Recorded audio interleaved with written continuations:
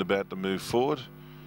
Prepared by one of the nice guys in the train ranks, Harold Norman. Been around a long time, Harold. Pop, bubble, pop. Moves up next. Miss Wartrace has been a drifter. All the money is for Classic Star.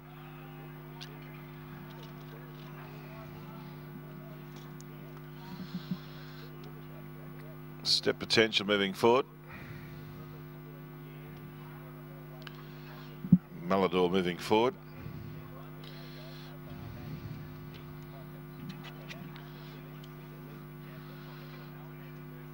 Uh, deep pockets.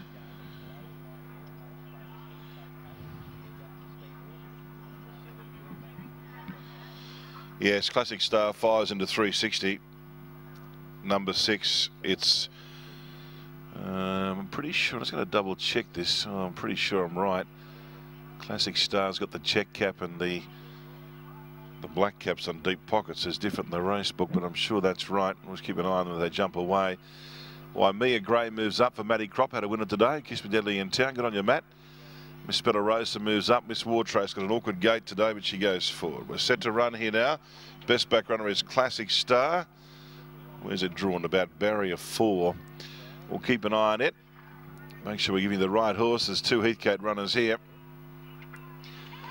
They're off and racing now. Yeah, Classic Star began okay. It's at the check cap. Miss Bellarosa out wide began fast. Hit the book showing good pace. Pop, bubble, pop.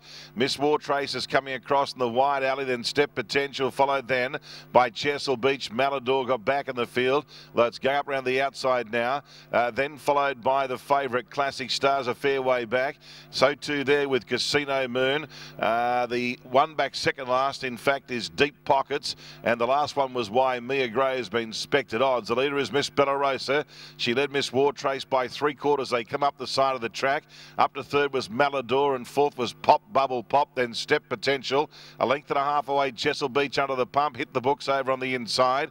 Then followed by this well-tried favourite Classic Star. It's got plenty of work to do. Wharton have to get to the outside shortly. It's stablemate deep pockets went around it in fact. Then Casino Moon and Waimea Star sees them all. Miss Bellarosa and Miss Wartrace went to the top of the lane in front. It's Miss Wartrace and the inside Miss Bellarosa trying hard. Then Pop Bubble Pop and Step Potential. And now here's Deep Pockets. He's coming with a big run right down the outside. Miss Bellarosa kicked. Miss Wartrace is after it. Miss Bellarosa and Miss Wartrace. And now Pop Bubble Pop and Classic on the outside was Deep Pockets. Deep Pockets, I reckon, maybe. Deep Pockets over Miss Wartrace, Pop Bubble Pop. And behind those then was Miss Bellarosa. It was a good finish in the end. Uh, I'm not quite sure. Maybe the outside, I reckon. Then Casino Moon, Step Potential, Malador, uh, Waimea Star hit the books. Uh, Classic Star have called it across the line and Chesil Beach. Stand by. Yeah, maybe the outside here. The seven on the outside, I think. Deep pockets. Deep pockets to get it on the outside. Looking at that slow-mo replay. Here's the uh, the long shot. I think this has just got home to seven. Come home very hard. Pop bubble pop. Miss Wartrace, Miss Bella Rosa battling away. Yeah, it's got it all right. 7 3 10 11. A long head by head.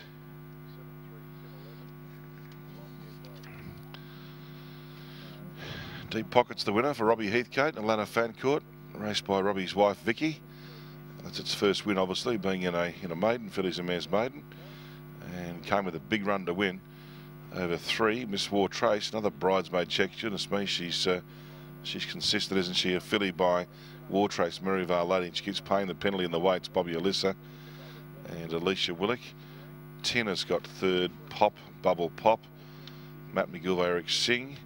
Mossman from Kipalan and Costa del Lago mare. 11 ran fourth step potential and Miss Bellarosa who was up there in the speed finished fifth.